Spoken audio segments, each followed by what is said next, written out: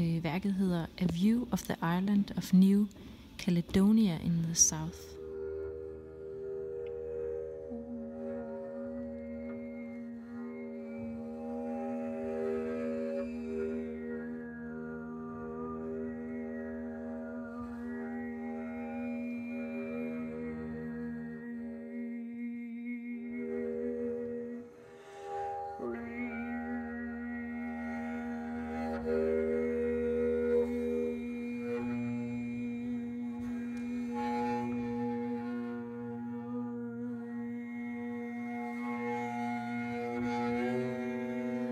Oppe i toppen er der et lys, der går ind og laver et lysfald sådan for oven. Øhm, og værket det øh, består af en klippesats med nogle træer. Det vil sige, der er et birketræ, et græntræ øhm, og nogle små nye ja, græntræer er det. Øhm, så er der nogle klipper, eller det er i virkeligheden dale, nogle bakker. Øh, og helt ude i horisonten, der er der øh, noget vand, et hav, nogle skibe. Der er faktisk nogle mennesker, og også en, en mand, som står med et våben.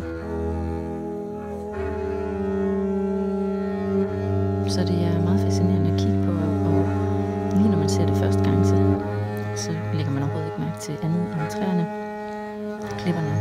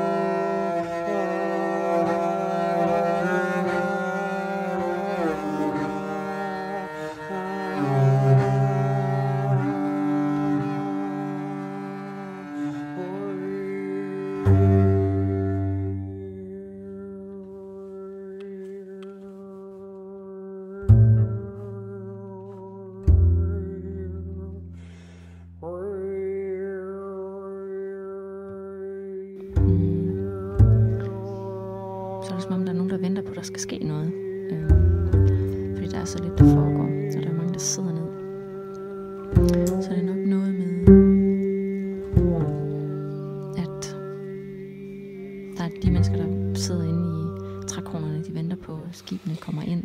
Eller de har fri og tager en velfortjent pause. Men så er der jo også det her med, øh,